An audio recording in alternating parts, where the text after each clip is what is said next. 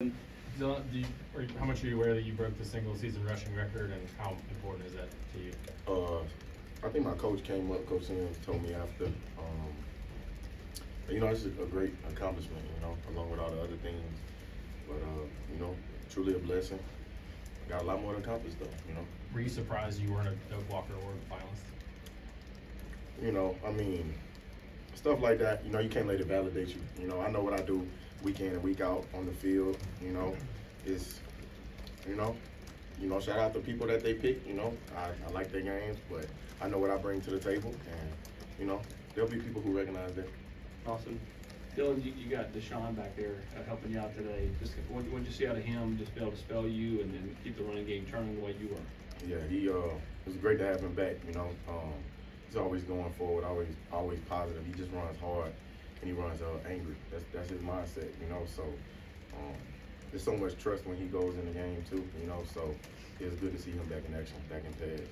David, Joe, and then we'll do one more after that. Dylan, could you kind of sense that the second half they were going to really turn to you when you think about no Bru and no Dont'e after halftime? Could you sense that, hey, I've got to shoulder this thing? Yeah, yeah. Um, you know, the first drive in the halftime, you know, took a took a lot of time off the clock. You know, that was uh, a great drive um, put together by the offense.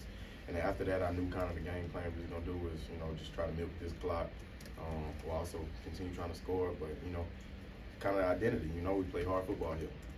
Joe, and then we'll finish with Wes. And what does it mean to get this program to where it is now in college football play to have a chance to play for national championship? Yeah, I think you uh you don't really you don't really realize you you know we get back in the locker room and, and everybody's you know really excited.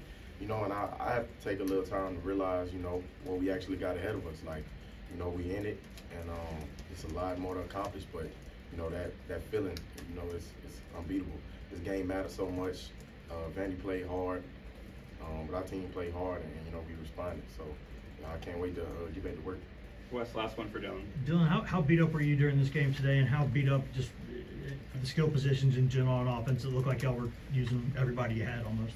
Yeah, no, I mean that's just that's just the nature of it, you know. I mean, week twelve, whatever week it is in the season, um, you not you never gonna feel perfect, you know. So if you can go, you, you find a way to go, and like if you can't, you know, trust the guys that be able to step up. But you know, got a little time to get our bodies right, get ready for what we got ahead of us.